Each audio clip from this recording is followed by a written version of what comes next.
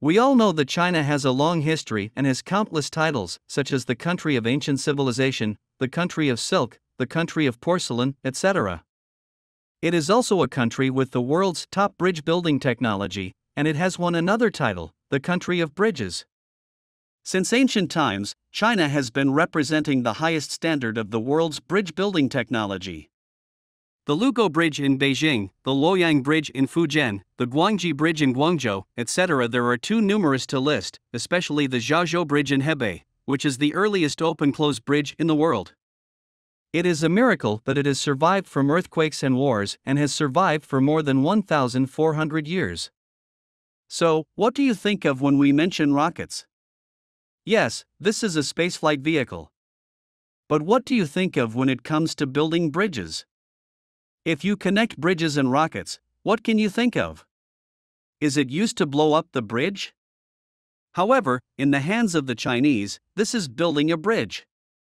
That's right, although it sounds a bit incredible, in China, rockets are used to build bridges. Hi! Welcome to Hot Topics Time. In today's video, let's take a look at how the Chinese use rockets to build bridges. Okay, let's get started many people will find it inconceivable. As a vehicle for spaceflight, how can rockets be connected with bridge construction? In fact, this is closely related to the geographical environment of the Sidu River Bridge.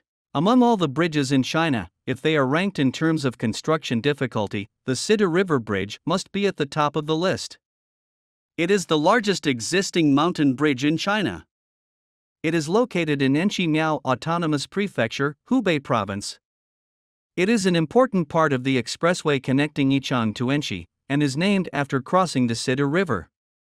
Besides, the Sidu River Bridge has a total length of 1,365 meters and was once called the world's number one bridge. In addition, the Sidu River Bridge is the second highest suspension bridge in the world, and of course, the first highest is Beipanjiang Bridge, which is also built in China. So, what problems did the construction team mainly encounter during the construction of such a super bridge? Why do they use rockets? Okay, please continue watching. Sidu River Bridge is located between the mountains, and the straight line distance between the bridge and the lowest point of the canyon is up to 560 meters. In addition, the average slope on both sides of the canyon is above 70 degrees, and in some places it can even reach 90 degrees.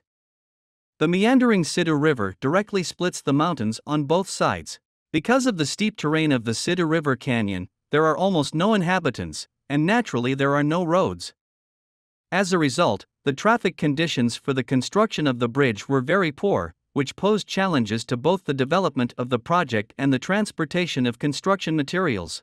And in the process of building a suspension bridge, there is a necessary link, which is the laying of the pilot cable. Because among the many steel cables that suspension bridges rely on, two main cables are very important. They can play the main load bearing responsibility of the bridge, so their strength is very high and their weight is very heavy. When building a long span bridge, if you want to send the two main cables to the other end of the bridge, you must first index the pilot with the smaller weight to the opposite side, and then use them to pull the main cable.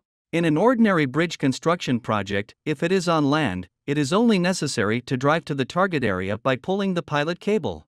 But it is obviously not suitable in the Sidu River Canyon, because there are almost no roads there, and no matter how powerful an off road vehicle is, it is impossible to climb the cliff on the opposite bank.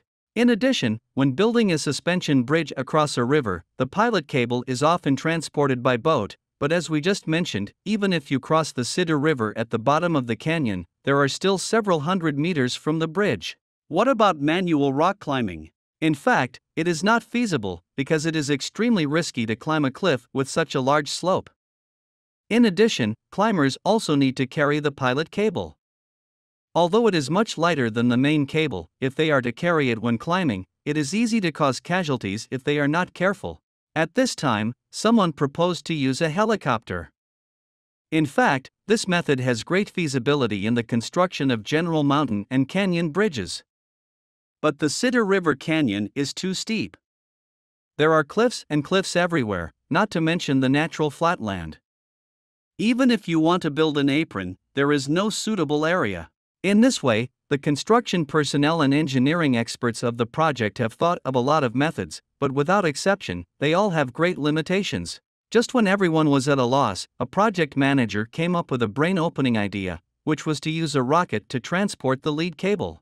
Once this method was proposed, it was opposed by many people, and anyone who looked at this idea was a bit too whimsical. But after some controversy and discussion, everyone decided to give it a try. After all, there was no other feasible way at that time. Everyone first found two small rockets and then tied ropes to them.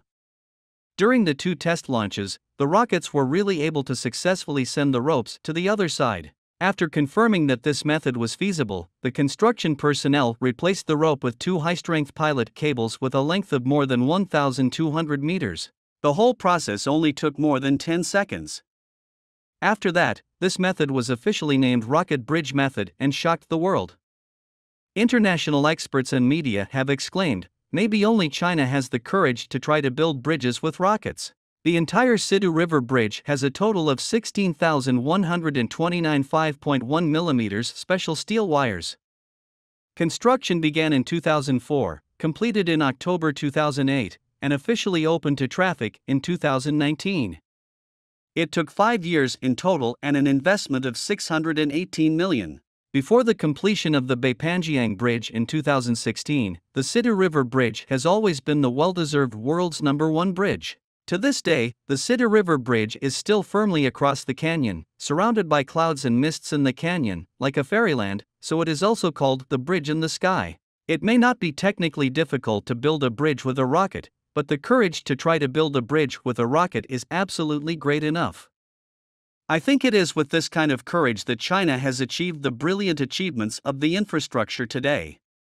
Do you like the story of the Sidu River Bridge? Please continue to follow us. We will talk about the world's first bridge, Beipanjiang Bridge, in the next update video.